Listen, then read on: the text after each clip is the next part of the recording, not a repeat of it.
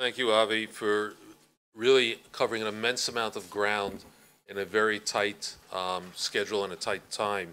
Um, I think that we really um, appreciate how much you were able to pack into here because I think that when we think about the really the way the Luxembourg Agreement had to be applied in different ways and different contexts than it was originally was conceived, um, and you were able to give us a sense of covering that, covering the change in definitions that were required, covering the further extent of the scope of persecution, um, and how all that was built on the original um, and worked off the original conception, the original agreement.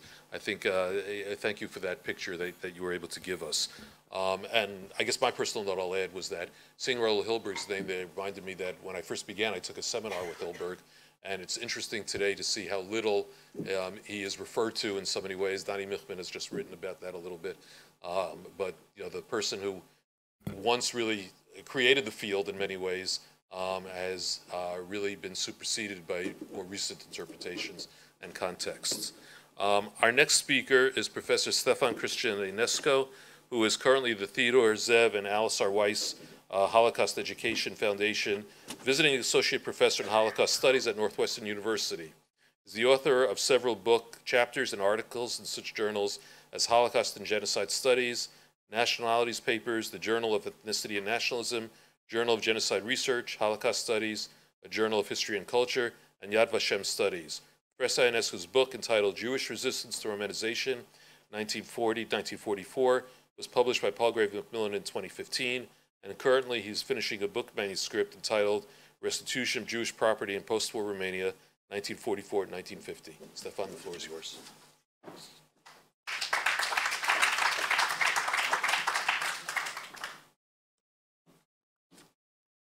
Hello, everyone. Um, thank you very much, Mark, for this generous introduction, and I would like to thank the organizers, Professor Stauber, um, and all your colleagues and Claims Conference for putting together this wonderful conference. And um, for me, it's especially meaningful to be here to participate in this conference, where Claims Conference has such an important role. Um, part of my, I mean, my current research, which my paper belongs to, um, was started when I was a fellow. I had a fellowship from Claims Conference entitled Saul Kagan Fellowship for Advanced Shoah Studies. And um,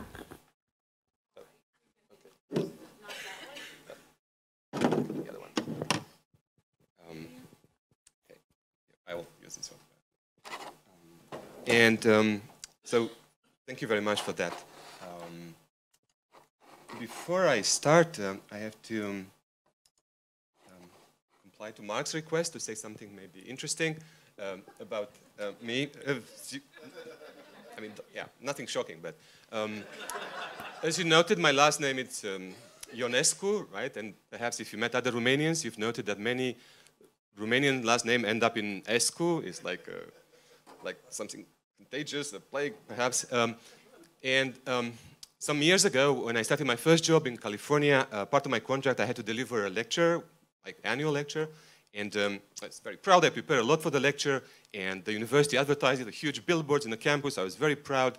Uh, very late, I've noticed that they misspelled my name, my last name. So instead of Ionescu, they wrote Antonescu, which is a wartime dictator of Romania. So I had to start my lecture with a disclaimer that uh, I'm not related to uh, our yeah, terrible dictator. Um, having said that, um, I will perhaps um, prepare to start my um, presentation today uh, just to say that this is part of a broader book project uh, entitled um, Restitution of Jewish Property in Post-Holocaust Romania um, that hopefully will be published. I'll just make it full screen. So, yes, okay, thank you. and without further ado, I will start uh, just to show you here, it's um, actually a flyer that was distributed uh, during the Holocaust in Romania by this Romanization agency, uh, Centrul Național de Romanizare. Uh, it says for rent. This was um, put on houses that were basically confiscated, expropriated from Jews um, to advertise for potential um, uh, Gentile tenants who um, could find fancy on specific houses um, cities were full of this um, type of notes. Um, so my paper today is entitled Courts Reversing Robbery, Implementing the Reversal of Romanization of Jewish Property, 1944-1950. After the putsch that toppled Marshal Ion Antonescu's anti-Semitic and genocidal dictatorship in August 1944, Romania changed sides. It abandoned the Axis and joined the Allies. Before it became a full-fledged, this is our wartime dictator, that is not my relative. Um, before it became a full-fledged communist dictatorship in December 1947, post-Antonescu Romania was ruled by several transitional governments. The first three were coalitions made of four political parties that removed Antonescu, National Peasants, Liberals, Social Democrats, and Communists, only to be replaced in March 1945 by the pro-communist Popular Front-style coalition headed by Petru Groza. Um, this is a map of Romania, and this is Petru Groza, the pro-communist prime minister. As you see, he doesn't look like a typical proletarian um, guy, actually. He was very wealthy yeah, uh, boyar. Um, tensions continue in Romania at political level between these two groups, I mean the pro-communist coalition and the traditional historical parties, the national peasant, the national liberal parties. Um, in terms of um, Jewish survivors, Jewish survivors expected the abolishment of previous anti-Semitic policies, the criminal indictment of perpetrators, and the restoration of their rights, especially the restitution of property that had been confiscated during the years of Romanianization, 1940, 1944. But what was this Romanianization that I keep talking about? This was the local equivalent of Nazi Aryanization in a broad sense. Uh, and mainly entail the transfer of economic assets, real estate, companies, and jobs from Jews to ethnic Romanians through expropriation by the state, redistribution to deserving Romanians, and purchases of assets by Gentile profiteers. In this paper, I will only focus on individual private property, housing, and, housing and companies. Ethnic Romanian refugees, civil servants, skilled workers, various agencies and NGOs, uh, war widows, invalids, and veterans were the main beneficiaries of Romanianization. In order to implement this policy, Antonescu established several agencies. You've already seen one, Centrul Național de Romanizare, National Romanization Center, and adopted a series of laws, such as Decree Law for the Expropriation of Jewish Urban Real Estate from March 1941. One of Antonescu's major projects, Romanization aimed to promote economic nationalism and create a strong ethnic Romanian bourgeoisie. While the Romanization agencies failed to confiscate and redistribute the majority of Jewish real estate um, to companies to ethnic Romanians during the Antonescu regime, for the most part due to Romania's involvement in the anti-Soviet war, um, the detrimental, detrimental evolution of the war for the Axis, and Jewish legal resistance through litigation and camouflage, tens of thousands of Jews lost their houses in favor of Gentile beneficiaries. My research uncovers the extraordinary untapped story of the Jews mostly successful petitioning to courts and the retrieving of their Romanized assets in the post-war era, even though only temporarily for most of them.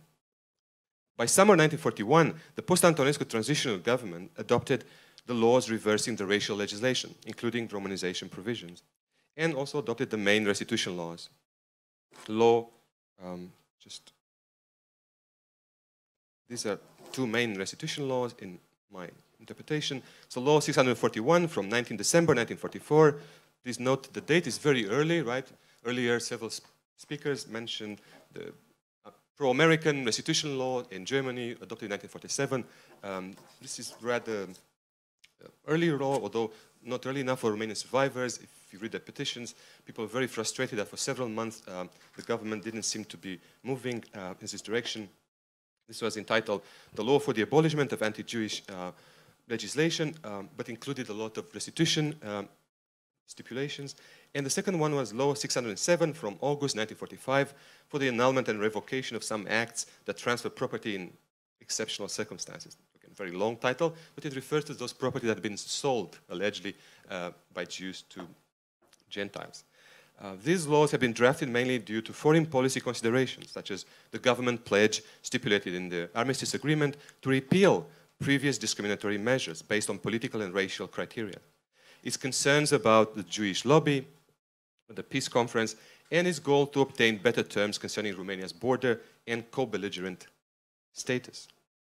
Although the new regime on paper abolished the Romanization provisions, in practice it allowed restitution only partially and in the short term. The restitution was undermined by major problems in events such as the devastation of war, insufficient personnel at Romanization agencies, and contradictory court decisions. Although many properties were successfully returned during the first post-war Antonescu years, restitution was a disorganized and incomplete process. It stopped a few years later when the communist regime uh, seized complete power, obtained control of the Jewish community, and implemented new expropriations targeting political enemies and bourgeoisie, such as nationalization of companies in 1948 and nationalization of housing in 1950. In practice, most local Jews used traditional patterns of petitioning developed across history in order to obtain the reversal of Antonescu's dispossessions, especially by petitioning to courts. Even though restitution laws were adopted relatively quickly, as I mentioned, de facto restitution took longer. Typically, to reclaim expropriated real estate, anti-racial legislation required Jews to file a request in court to evict the Romanization profiteers who still live in those houses. Despite formal restitution, some Jewish owners could not move into the houses right away because restitution laws prolonged the leases of several categories of Romanization beneficiaries, such as retired civil servants, um, invalids, orphans, widows, um, welfare organizations, state institutions of public interest. Uh, they prolonged them several times until April 1948, except in the cases uh, of houses owned by the Jewish working class, war invalids, widows, and of low income. In order to obtain the right to return to their pre-Antonescu houses, Jewish owners and tenants had to prove that they inhabited the houses before the expropriation laws. Thus, the burden of proof fell on the Jewish owners and tenants. Not always the Jewish plaintiffs won their property back. The court system issues sometimes contradictory decisions, especially in the cases of transactions where the Gentiles claim to have acquired the property through legitimate methods, like purchasing them. Having a skilled lawyer when suing for restitution was crucial for former Jewish owners, especially when they faced some potential hostile judges. For example, the lawyer Miron Butariu, a Gentile lawyer, recollected in his memoirs how he represented a Jewish plaintiff in a, course, in a court in the city of Arad, who requested, I mean, requested the restitution of his house confiscated in 1941. Facing a hostile judge who was a sympathizer of fascist movement, Butariu questioned the magistrate's objectivity based on his fascist past, and as a result, the judge had to recuse himself. The crucial question is, what was the extent of court restitution? And is it, I mean, possible to have a grasp of, of the extent of this court restitution during the first post-war years? Overall, because we lack access to full court archives, it is not entirely clear how effective the restitution laws that I mentioned, 641 and 607, um, and what was the proportion of Romanian Jews who managed to recuperate through post-war litigation the properties they lost, um, expropriated or sold, allegedly, to Gentiles during the Antonescu regime. However, I try to do something. Um, I found about 147 court decisions, and this court decision showed that Jewish plaintiffs won about 68% of the cases that reached the Supreme Court. Um, if we take into account the court decisions at all level of jurisdiction, I mean all this 147, um, the Supreme Court, Appeals Court, Tribunal, Judecatoria, local court, the Jewish plaintiffs won um, about yeah 68% of, of cases, um, while few of them ended up in neutral decisions. While this is not a representative sample for the entire restitution litigation, it is a significant exploratory finding until the court archive will become available. It shows that um, most of the Jewish plaintiffs eventually won their cases, but also that restitution sometimes requires several years of litigation at different jurisdictional levels until a final decision could be reached. The examination of these court documents also showed that most of the Supreme Court decisions were issued in 1945 and 1946, based on law 641 for the expropriated assets. Um, and those pro prolonging into 1947, 1948, 1949 were, were overwhelmingly cases based on law 607, in which former Jewish owners tried to cancel the sale of the assets made under duress.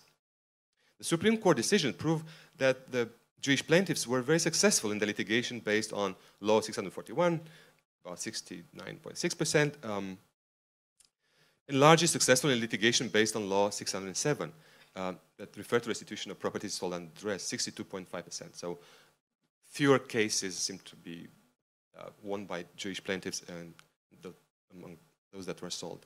Um, Jewish plaintiffs were very successful at appeals court, about 75%, um, successful at tribunal level, 65%, um, extremely successful at local court, judicatory, about 80, 80%, but it's a smaller sample here.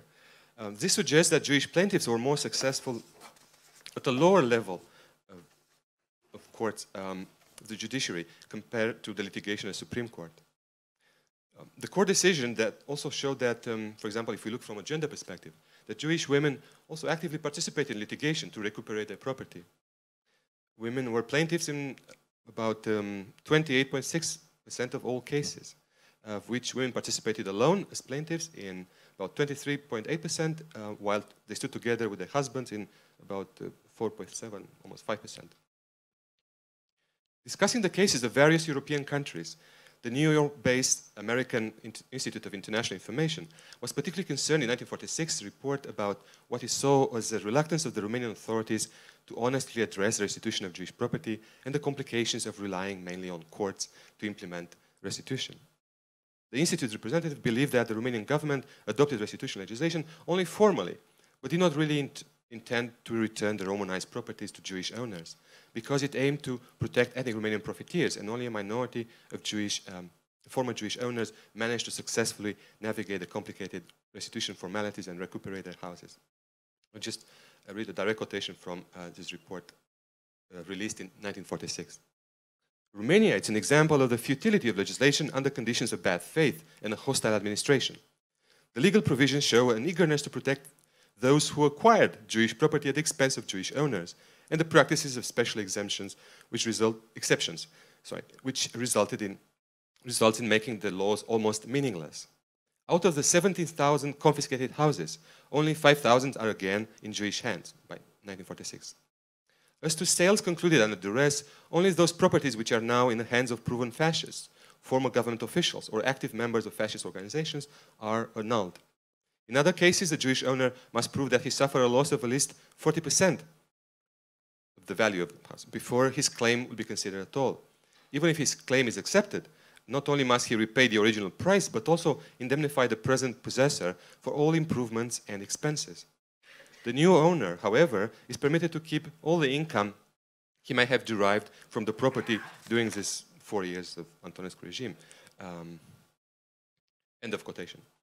One of the most relevant parts of the Institute report is the estimation, probably based on data supplied by Romanian Jewish leaders, that out of the 17,000 houses expropriated by Antonescu regime, from which the Jewish owners had been evicted, only 5,000 had been returned to them by 1946. Because even though the laws acknowledged restitution on paper, they stipulated various exceptions and delays, um, and sometimes the implementation by the judiciary had been hostile. During the next years, the restitution seemed to be increasing um, significantly because by April 1948, the exemptions in favor of specific categories of privileged ro Romanization tenants uh, ended, and the courts continued to rule in favor of the former Jewish owners and tenants. But didn't go for long. For example, the last court decision I found is from spring 1949. From that moment, I didn't find anything. So it's maybe there are somewhere, but um, I could not find them. Um, the Institute correctly argued that the restitution of the property sold under duress was less successful than the restitution of expropriated real estate um, because of the conditions required by Law 607 regarding the status of buyer, the proportion of financial loss suffered by Jewish owner, and so on and so on.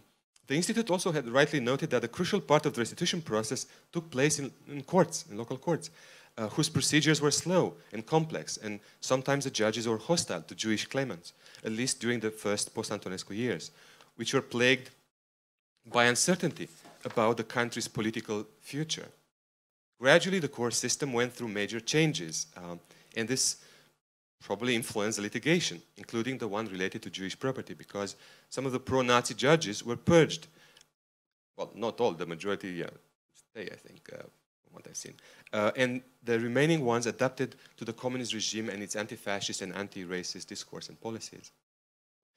restitution of Romanized Jewish property by courts was sometimes uh, suspended by the authorities' use of the requisition law. Such cases took place um, when some high officials, including Prime Minister Petru Groza himself, advocated for the requisition of Jewish-owned buildings, including some of those that were recently uh, restituted by courts. While a few government officials understood the difficult situation of Jewish survivors in relation to their property rights, most of them, um, including Prime Minister Petru Groza, were unsympathetic, to say the least, or hostile to the Jews and believed that they believe in a myth depicting local Jews as wealthy quote, parasites and profiteers from the, at the expense of ethnic Romanians, the economy and society. A particularly false and unfair accusation blamed the Jews for the existing anti-Semitism and chauvinism in Romanian society and for undermining the new people's democracy, the, the communist regime, which is very bizarre. Um, the prime minister's hostility against the Jews and their alleged privileges might have been caused by the fact that Groza himself was one of the profiteers of Antonescu's Romanization of Jewish businesses. I found some documents, including from secret police, that he bought a Jewish factory, like alcohol factory, and, uh, during the war. Um, after Groza party came to power in March 1945, he profited again from Jewish property when he moved in a luxurious villa confiscated from the Jewish industrialist Max Auschnitt, who fled Romania. Uh, this villa is located in a beautiful part of Bucharest. Um, a court decision did not always guarantee that Gentile profiteers would abandon the Jewish houses. They often ignored the Jewish owners, who then had to hire a judicial executor to enforce the decision.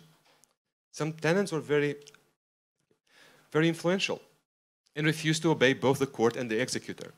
Jews whose houses were occupied, for example, by public institutions such as police or secret intelligence service faced particular difficulties um, and were not really able to move in. Um, to conclude, even though the post-Antonescu transitional governments formally abolished the Romanization legislation and adopted the laws for the restitution of property rather quickly, by summer 1945, in practice restitution did not proceed smoothly.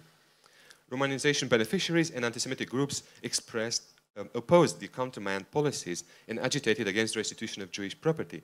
And the authorities did not seem fully committed to address the injustices done to the Jews. While some Gentiles supported the restitution of property to Jewish survivors, numerous others, I would say the majority, um, especially anti the anti-Semites, beneficiaries of Romanization, opposed the countermand policies and displayed their hostility in public and private settings. Most of the politicians from both political camps struggling for power, again, the pro-communist and the traditional historical parties, um, agreed to reverse Romanianization measures because they saw it as an imperative requirement uh, imposed by the victorious allies through the Armistice Agreement. Um, here, the, this anti-Semitic myth of world Jewish conspiracy worked very well. They thought that the, both American, British, and the Soviets were puppets, uh, and the Jews were puppeteers. Although many properties were successfully returned during the first post-Antonescu years, overall a fair, complete, rapid and permanent restitution of property did not take place. The court restitution process ended by 1949-1950 due to a variety of international and domestic events, such as the consolidation of the communist regime, its growing confidence due to Soviet support, the signing of the peace treaty in February 1947, and it entered in full force in fall of 1947, the new nationalizations, and the establishment of Israel. The situation plummeted, especially after December 1947, when the communist regime forced King Michael to abdicate, abolish the monarchy, and seize complete power. The communist massive nationalization policies of, of companies in 1948 and houses in 1950, targeting mainly political enemies and the bourgeoisie. However, I would argue that many Jewish survivors faced a second expropriation of their assets within a single decade. Even though the communist nationalization um, worsened the lives of many entrepreneurs, property owners, liberal professionals, and artisans, regardless of their ethnicity or religious background. Um, the Jews were disproportionately represented in those social categories were particularly affected. My examination of restitution process between 1944 and 1950 shows a significant agency of Jewish survivors, whether notables or ordinary members of the community, who in spite of the numerous obstacles encountered during the post-Antonescu transitional years, worked tirelessly for restitution and often managed to recover the property only for a short time. Thank you.